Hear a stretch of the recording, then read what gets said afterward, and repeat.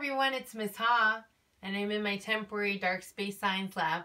I call this the Nook, and this is where I do all my work, and when you listen to me on Seesaw and you hear me commenting or talking about your investigation, this is where I sit and I look out the window, just like in my dark space science lab. I want to show you some things at my desk that help me stay organized while I'm doing my work. It's really important. Now your home is your classroom, so you want to have an organized place where you can work and study and learn. So come on over. This is my desk. And one of the things that's really important that I do um, for every week is I have a schedule for myself. And it has the different days of the week. I have organized when I have different Zoom calls and different tasks to do. I've got my binoculars that I made. And guess what? You know what those are. Two toilet paper rolls and I stapled them together. You can make your own and you can actually decorate yours. Maybe in the next episode you'll see that I decorated these binoculars. I like to look out the window and observe nature. And I've got my crystals there. And what I'm going to use today and what you're going to need today in today's lesson is we're going to be recording in our science notebook. So you will need a form of paper. It can be some kind of scrap paper. If you have a notebook, turn something else into a science notebook. Maybe you have your science notebook from last year that you brought home at the end of the school year and you can reuse the pages. Whatever you have, you're going to use today. And I'm going to record my ball and ramp investigation from yesterday. So we're going to go back to the yoga mat, or from last week, I mean, and you're going to watch the video ball and ramp investigation number one again. You're going to rewatch it so you can see the activity and we're going to record the activity today. So we did the investigation last week. We did the test and now we've got to record it so we can communicate our ideas to other people. So you can see I've got my materials. Remember I've got this little cuties box with those little clementines. I had this T-Mobile box.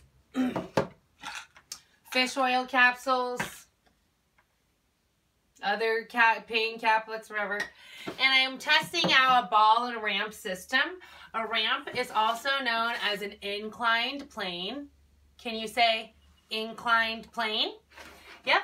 And with an inclined plane, it's just like a ramp, and you might have tested out a few different systems using different parts. So I've got my um, my my ball and my ramp, and maybe you tried some things out like this and you watched what happened. You did different tests with different objects. So today we're going to record all about that. So I've got my notebook and I want you to get your notebook and feel free to watch this video again and again so you can learn what to do. Feel free to pause wherever you need to when you need to get ready to do something. So I'm going to record by first writing the heading and that's ball and ramp, investigation, a big word coming up, I N V E S T I G A T I O N. Ball and ramp investigation number one. And I want to include today's date. The days are getting a little blurry for me, but today is April 6th, 2020, and I'm using the numerical form April 6, 2020. So I'm going to record my ideas now, and I'm going to record with a picture. Um, and it doesn't have to be perfect. Just try your best to record what you see. So I have my system like this. I've got a ramp. I've got that cuties box. It's a rectangle shape. I've also got my little T-Mobile box just like this. Like I said, it's not perfect and I'm working on writing more gently. Um, I'm going to label my little cuties.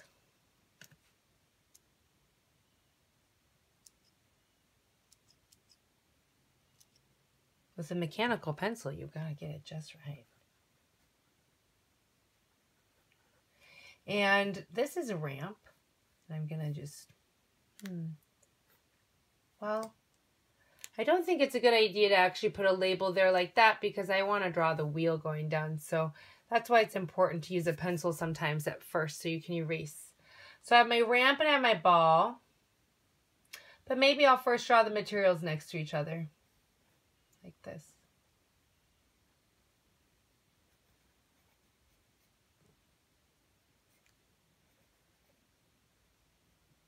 It's, this is my ball. It's actually a jar or a pill case. And this is my ramp. And you notice the ramp is at an angle. And we tried rolling it down, right?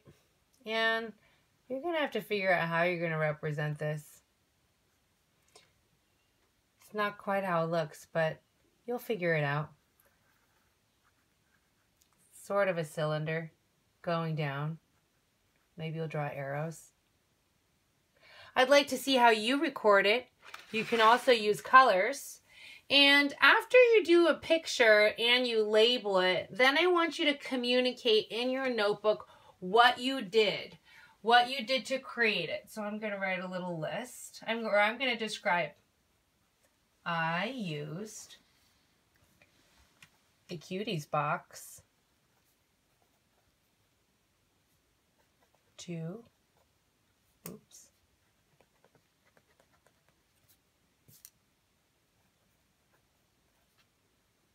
make